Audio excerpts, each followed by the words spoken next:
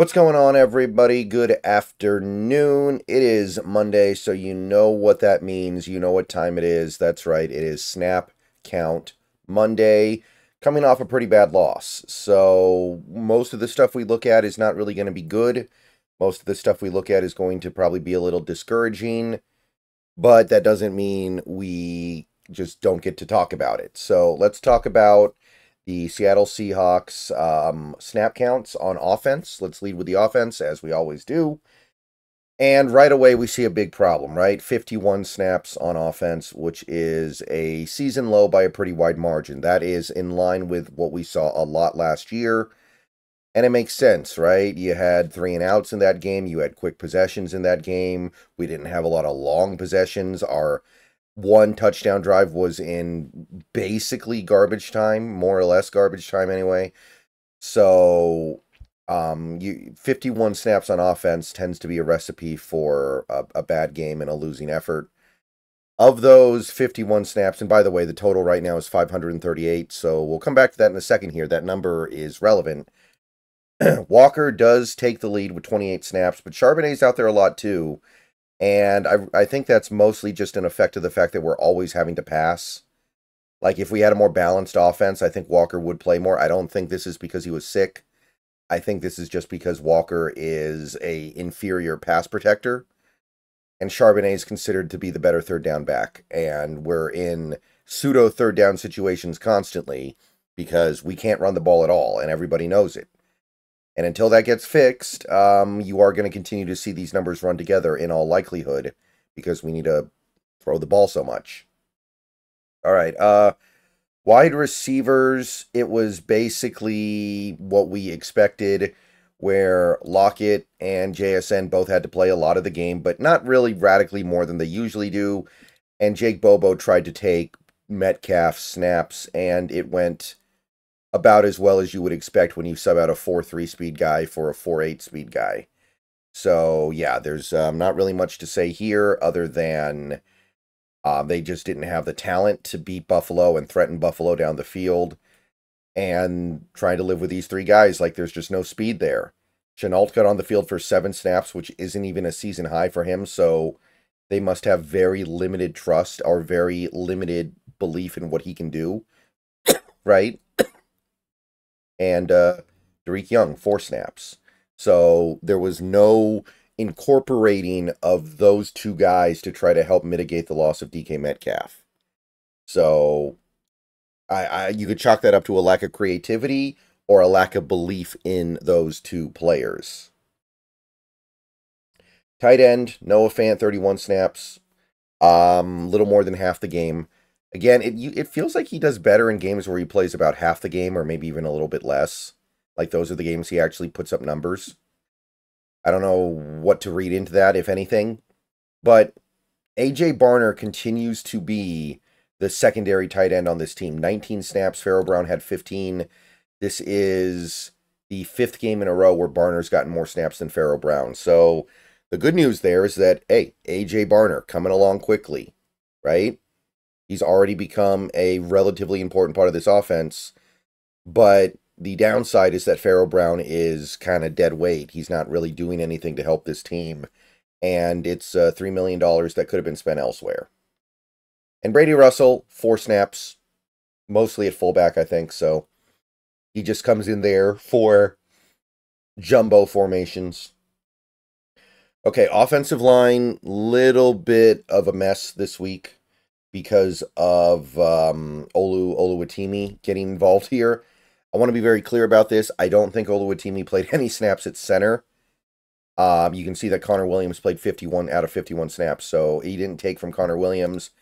Oluwatimi lined up at like tight end uh, three times in this game in jumbo formation. So that's kind of interesting, right? Um, don't know if he's ever done that before in his career, but we've decided he's the best guy for it right now. I'm sure when Fant comes back, it'll probably be um, we'll probably be looking at something where it's Fant's um, Fant's uh, responsibility to handle those plays. But uh, 51 for Cross, 51 for Tomlinson, 51 for Williams, and 51 for Gerald. Gerald played every snap. Um, the only other interesting thing here would be Anthony Bradford. Who played 40 snaps, and Haynes got 11 snaps. So we continue to heavily favor Bradford. I again, I really feel like you need to just commit. Just let Bradford have all 51 snaps in this game. I mean, Haynes came in there and got a really bad penalty, right? So it's not like he's playing well. It's not like he's doing his job. It's not like he's providing anything in those 11 snaps that we like. But uh, yeah, that's uh, it for the offense. Let's jump over to the defense now. 76 snaps. So that's how you get blown out. You have 76 snaps on defense and only 51 on offense. That's really bad. And it's gotten us to basically equilibrium on the season. We are now at 537 on defense, which means we have one more snap this season on offense than defense. Not really a winning formula, people. Not really what you want to see from your team.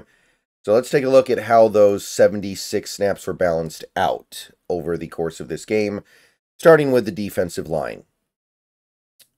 So Leonard Williams, 50 snaps, which I think is about right for a game where you have this many snaps.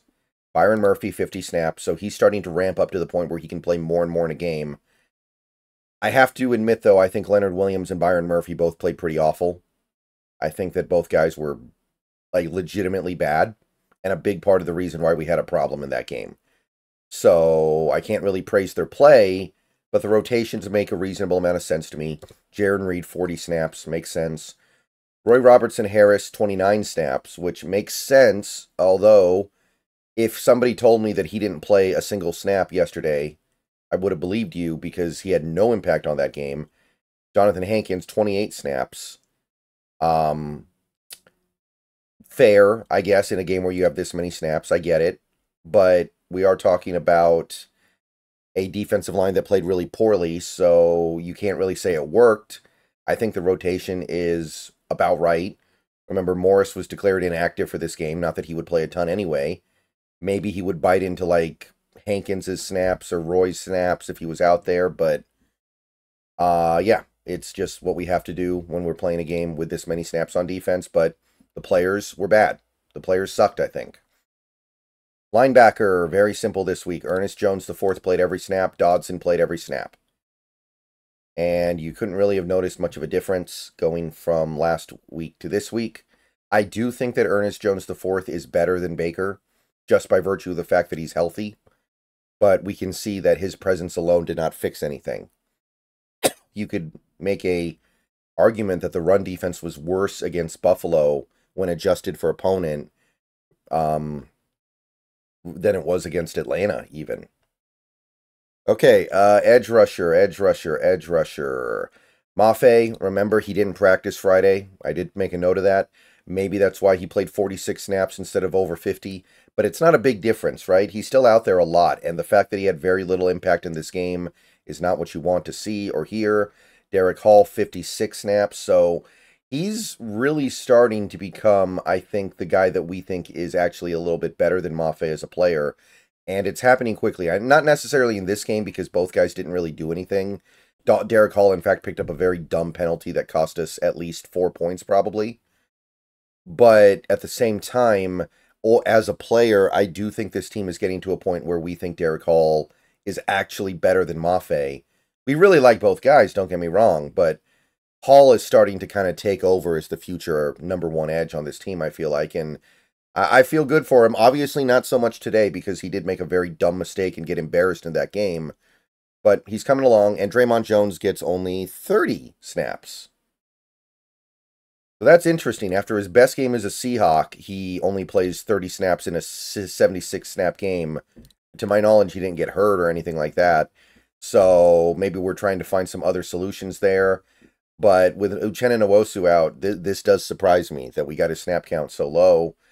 Uh, cornerback, Witherspoon and Woolen played all the snaps except for the snaps where we had no corners on the field when they were going like super jumbo. Joby plays most of the game, 51 snaps. He did make a really nice play on the interception, but other than that, he was very, uh, you know, he, he was very um, susceptible to getting beat up.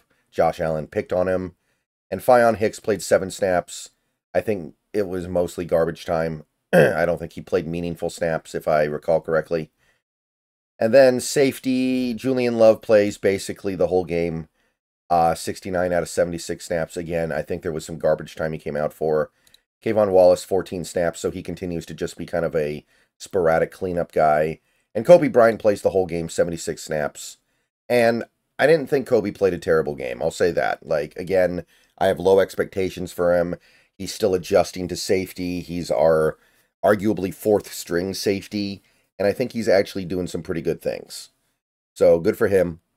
And uh, that's it for Snap Count Monday. I mean, it, it didn't work, right? No, nothing on this team really performed admirably yesterday. There was nothing to be impressed by, but these rotations are, I think, mostly sensible. A couple things stand out to me as kind of a little bit confusing, but they're they're doing what they can.